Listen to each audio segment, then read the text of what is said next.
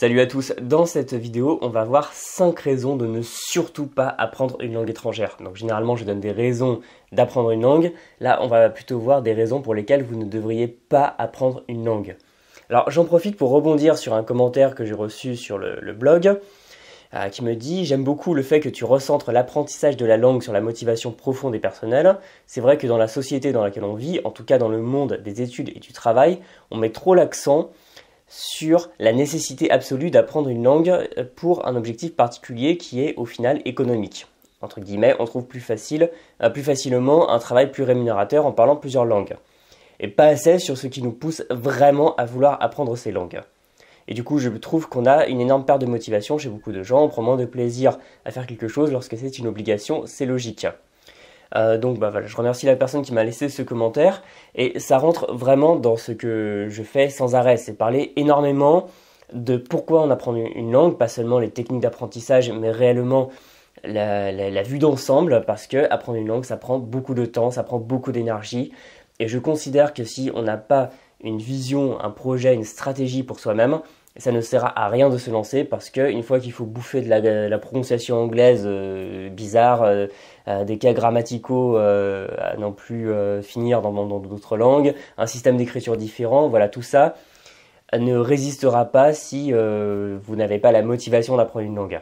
Alors dans cette vidéo, on va parler de ça et je voudrais évoquer avant tout rapidement l'opération de Noël que je fais, sachant que voilà, c'est bientôt Noël, donc j'ai décidé de marquer le coup, c'est aussi bientôt la fin de l'année en vous proposant un pack avec toutes mes formations, c'est-à-dire bah, toutes les formations disponibles sur le site et aussi euh, si vous choisissez de vous inscrire aujourd'hui, donc le jeudi 12 décembre, toutes les formations que j'ai faites euh, et qui ne sont plus disponibles.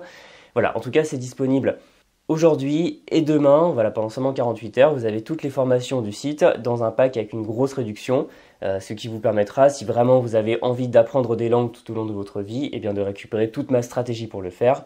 Voilà, j'en reparlerai à la fin de la vidéo. Vous avez un lien, comme ça vous pouvez l'ouvrir euh, dans un nouvel onglet et on va attaquer la vidéo. Alors, ma conviction, c'est que toujours, il faut avoir de la motivation pour apprendre une langue. C'est plus important que n'importe quel talent, que n'importe quelle euh, expérience. C'est que apprendre une langue, c'est du taf. Alors je suis désolé d'être à ce point honnête, mais euh, quand on vous fait croire qu'apprendre une langue, c'est facile dans le sens où c'est toujours une partie de plaisir et que ça se fait en quelques semaines, euh, du style apprendre à parler couramment une langue en trois mois, je reviens toujours dessus, mais ça m'énerve.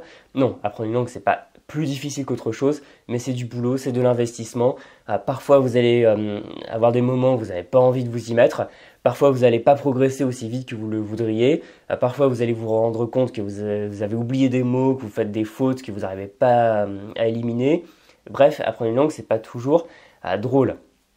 C'est pour ça que pour surmonter tous ces obstacles, il faut avoir une raison personnelle de le faire. Et souvent, si je fais cette vidéo, c'est qu'on apprend des euh, langues pour de mauvaises raisons. évidemment, une langue apprise pour de mauvaises raisons, c'est une langue qu'on va échouer à apprendre. Alors, je sais que qu'on essaye de nous euh, faire croire qu'il serait possible d'entretenir sa motivation avec des hacks de motivation sur comment être toujours motivé, ou alors avec des photos sur les réseaux sociaux avec des couchers de soleil et des citations de gens célèbres qui vous disent que si vous bougez pas le cul, eh ben vous allez euh, rater votre vie. Ça ne marche pas comme ça. Il faut partir de quelque chose de plus profond, de plus personnel. Et je le dis toujours, la raison qui vous fera apprendre une langue, c'est une raison qui ne marchera pas pour le voisin, et euh, vice-versa. C'est pour ça qu'il ne peut pas y avoir des bonnes raisons euh, qui touchent tout le monde, ça va dépendre de vous, de vous uniquement. Et si j'insiste autant dessus, euh, si j'ai fait plusieurs vidéos sur le sujet, si j'ai envie de revenir aussi souvent sur ce point, c'est parce que c'est fondamental. On pense qu'on peut en faire abstraction, mais si vous n'avez pas une vision claire de ce que vous faites, c'est comme aller dans le désert pendant deux mois euh, sans réserve d'eau. C'est totalement impossible, c'est perdu d'avance. On va donc voir rapidement les cinq mauvaises raisons d'apprendre une langue. Alors la raison numéro 1, c'est d'apprendre une langue parce que elle serait facile. Moi j'ai une vision assez tranchée, tout le monde n'est pas d'accord avec moi, mais en tout cas je reste sur ma position, qu'il n'y a pas de langue plus facile ou difficile qu'une autre dans l'absolu. Alors, il y a des langues qui peuvent sembler plus faciles, comme les langues latines, parce qu'elles sont proches du français, et forcément l'espagnol semblera plus facile que le chinois, mais pour moi ça s'équilibre au bout d'un moment. Et la difficulté perçue d'une langue n'a pas vraiment d'importance sur le long terme. Et la posture que je vois assez souvent, le, discours que j'entends, c'est je voudrais apprendre une langue X, mais elle a l'air difficile, ou on dit qu'elle est difficile. Donc je vais prendre la langue Y que j'ai moins envie d'apprendre, et euh, parce qu'elle a l'air plus facile. Par exemple, je voudrais apprendre, je sais pas, le, japonais, mais paraît-il que l'espagnol c'est plus facile, donc je vais apprendre l'espagnol, même si ça me donne moins envie. Et ça, honnêtement, ça va pas marcher, parce que même si l'espagnol vous semble plus facile, si vous avez aucune envie d'apprendre l'espagnol, aucune raison personnelle de le faire, vous n'allez pas y arriver, vous allez laisser tomber. Euh, alors que le japonais, même si ça vous semble plus difficile, si vous avez envie d'apprendre cette langue, si vous avez une passion liée à cette culture, si vous connaissez des gens avec qui vous avez envie de parler en japonais, mettons, vous aurez l'énergie de surmonter tous les obstacles. Et d'après mon expérience, vraiment la, difficulté s'équilibre. Parce que si vous demandez à toutes les personnes qui ont appris une langue latine à un niveau élevé, elles, vont dire, elles vous diront toutes que euh, c'est facile peut-être au début, mais que pour vraiment atteindre un bon niveau, on, arrive à des choses dans la langue qui ne ressemblent plus du tout au français. Je l'ai vu avec l'italien. L'italien, c'est très facile d'acquérir les bases pour nous autres francophones, mais une fois qu'on veut vraiment aller dans les petits détails, aller dans des expressions qui ne ressemblent plus du tout au français, eh bien là, ça demande inévitablement aussi du travail. Alors que par exemple le japonais, eh ben, c'est difficile d'accès parce qu'il y a une écriture totalement différente, il y a une logique totalement différente, mais une fois qu'on est rentré dedans, je dis pas que c'est plus facile qu'autre chose, mais c'est pas forcément insurmontable. Une fois qu'on a compris la logique, qu'on a les bases, eh bien c'est pas plus facile ou difficile qu'une autre langue. Donc mon conseil c'est n'apprenez surtout pas une langue parce qu'elle est réputée facile et ne renoncez pas à apprendre une langue parce qu'elle est réputée difficile. Allez vers la langue qui vous plaît, qui vous fait envie, qui correspond à votre projet, euh, à, quelque chose d'important pour vous, et euh, n'allez pas vers des langues soi-disant parce qu'elles sont plus faciles, parce que c'est un critère très minoritaire qui a finalement peu d'importance sur le long terme. Maintenant, la raison numéro 2. Apprendre une langue parce que tout le monde l'apprend avec tous les effets de mode et la pression sociale qu'on peut voir. Ce n'est pas pour rien qu'à l'école, dans l'immense majorité des cas, l'élève moyen au collège va apprendre en LV1 l'anglais et en LV2 l'espagnol. C'est parce que c'est ce que fait absolument tout le monde. Donc, ça peut être sur des bonnes raisons, parce que l'anglais c'est une langue incontournable pour la communication internationale, et ensuite parce que l'espagnol c'est considéré comme facile, ça c'est une mauvaise raison, mais c'est une langue très parlée dans le monde et on peut vouloir apprendre l'espagnol, il n'y a pas de souci. Le problème, c'est que quand on fait comme tout le monde, eh ben, on n'est pas sûr que, ça va nous plaire et que ça va nous correspondre. Et de la même manière, on va rester limité par des effets de on dit, comme l'espagnol c'est une belle langue, il faut l'apprendre, ou alors l'allemand c'est une langue de moche, c'est une langue de nazi, ou alors le chinois il faut absolument l'apprendre parce que c'est la langue de l'avenir, etc., etc. Non, ce n'est pas parce que votre voisin pense qu'une langue est indispensable ou à défaut qu'elle est inutile ou moche euh, qu'il faut euh, en tenir compte.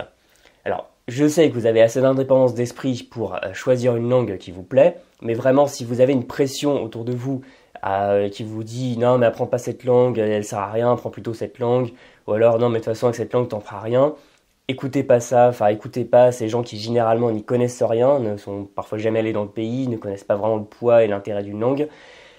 Pensez à vous-même, recentrez-vous sur vous-même, c'est-à-dire il n'y a pas de langue qui est meilleure qu'une autre, une langue qui serait inutile, une qui serait utile. C'est des langues qui vous intéressent et je peux vous assurer qu'il y a des gens qui ont fait des merveilles dans leur vie avec des langues parlées par moins de 5 millions de personnes. La raison numéro 3, c'est la ligne sur le CV, la fameuse raison économique. Parce que plus on connaîtrait de langues, plus on gagnerait d'argent. Alors, gagner de l'argent et avoir une bonne carrière, c'est bien. Pour moi, il n'y a pas de problème. Parce que souvent, on dit non, mais apprendre une langue pour des raisons mercantiles, c'est pas bien, gna gna gna. Bon, on va pas jouer aux vieux intellos de gauche euh, amoureux de, des belles choses. Il n'y a pas de souci à vouloir apprendre une langue parce que ça correspond à un projet euh, pour euh, trouver du travail, un projet entrepreneurial, euh, et pourquoi pas avoir une meilleure rémunération. C'est pas sale, il n'y a pas de souci. Malgré tout, je suis quand même très sceptique vis-à-vis des gens qui disent il faut apprendre cette langue parce qu'elle rapporte, cette langue ne sert à rien, elle rapporte rien. J'aime pas trop ça parce que ça rejoint beaucoup les on-dit. Alors j'entends beaucoup de gens qui disent il faut apprendre l'allemand parce que l'Allemagne c'est la première puissance économique du continent il faut apprendre le chinois parce que la Chine, c'est la première puissance économique de demain. Pourquoi pas? Mais je trouve que l'envie de gagner de l'argent ne suffit pas, parce que ce n'est pas parce qu'une langue peut vous donner envie, parce qu'on euh, fait miroiter un salaire plus élevé, que ça va nourrir votre motivation. Parce que si vous n'avez pas d'intérêt pour la culture, si la langue vous plaît pas, si vous aimez pas ses sonorités, enfin voilà, tout un tas de raisons qui font que vous n'avez pas d'intérêt pour la langue, juste l'idée d'avoir 100 euros en plus euh, par mois au bout du compte, ça va pas vous porter. D'autant plus que c'est très ingrat comme raison. Parce que pour utiliser une langue dans son travail, il faut la pousser à un niveau au moins intermédiaire, voire avancé si c'est vraiment euh, des exigences élevées. Ce qui veut dire que le temps que vous atteignez un niveau euh, suffisant pour pouvoir vraiment vous servir de cette langue pour gagner plus d'argent, eh bien il va s'en passer du temps. Et si entre les deux, vous n'avez pas de motivation, ça ne vous plaît pas d'apprendre, enfin, c'est-à-dire si le voyage vous déplaît et que vous regardez que la destination qui est bien loin, vous n'allez pas tenir. C'est impossible. Voilà, c'est pour ça que il faut trouver d'autres raisons que juste avoir envie d'argent. Encore une fois, parler des langues seules, ça ne suffit pas. J'en parle souvent sur cette chaîne. Euh, soyons clairs, des gens qui ont appris l'allemand, qui sont allés vivre à Berlin et qui sont, bah, qui sont pauvres, on va dire ce qui est, ça existe. Ce n'est pas juste parce qu'on apprend une langue liée à de l'argent qu'on va gagner de l'argent. Des gens qui parlent cinq langues, qui n'ont jamais réussi à tirer leur épingle du jeu, c'est pareil. Il n'y a pas de problème à avoir un projet professionnel avec les langues, mais il faut le réfléchir et ce n'est pas juste empiler des langues pour gagner plus d'argent, ce n'est pas automatique. Et euh, c'est pour ça qu'il faut réfléchir à un projet plus global dans lequel vous pourrez inclure les, raisons économiques, mais euh, pas seulement. Ensuite, raison numéro 4. Pour ajouter une langue au compteur, c'est-à-dire, allez, on va parler une langue de plus.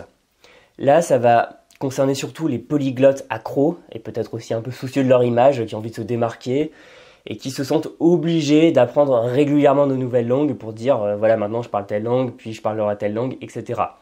Donc je sais que ça ne concerne pas tant de gens, mais il y a quand même des gens que, je vois faire ça. Et généralement, ils vont apprendre euh, par exemple l'espéranto, parce que l'espéranto ce serait une langue facile, ce qui permet aisément rajouter une langue au compteur, ce qui est totalement stupide. Et je vois aussi beaucoup de gens qui apprennent des langues dans cette optique de cette boulimie de langue, se sentir obligés par un peu par pression sociale d'apprendre des langues, et qui ont du mal parce que ce sont des langues qui ne les intéressent pas vraiment ou qu'ils ont choisi un peu par lubie. Sachant que ne perdez jamais de vue que chaque langue apprise, si vous voulez en faire quelque chose d'intéressant, c'est une langue qu'il faudra entretenir. C'est un fardeau que vous vous rajoutez. Et en fait, si vous apprenez des langues qui ne vous intéressent pas énormément, juste pour l'idée d'en parler beaucoup, eh bien ça va faire que, au bout du compte, vous allez avoir une corvée qui consiste à entretenir plein de langues qui ne vous intéressent pas, ou alors à oublier des langues que vous avez passé du temps à apprendre. C'est pour ça que apprendre des langues juste pour en apprendre, c'est une très mauvaise raison. Et honnêtement, dans le, vrai monde, en dehors des petits cercles polyglottes, tout le monde se fout complètement du nombre de langues que vous parlez. Et vous trouverez toujours des gens qui parleront plus de, langues, et voilà, disons-le, qui, en auront une plus grosse. Bien sûr, je veux bien parler de la liste de langues. Et voilà, c'est pour ça que ça m'énerve quand je vois des gens dire ouais il faut apprendre plein de langues pour devenir polyglotte, hyper polyglotte. Euh, non, c'est complètement stupide. La cinquième et dernière raison, alors celle-là elle est assez nuancée, je la trouve assez intéressante, c'est apprendre des langues pour ses proches, pour faire plaisir à ses proches, parce que c'est une langue, mettons, familiale, il y a des gens dans votre famille qui parlent cette langue, vous avez des origines d'un pays où est parlé une langue, euh, ou alors euh, pour un, ou une partenaire romantique, vous sortez avec une personne qui parle une langue, et contrairement aux idées reçues, je trouve pas que ce soit une très bonne raison d'apprendre une langue.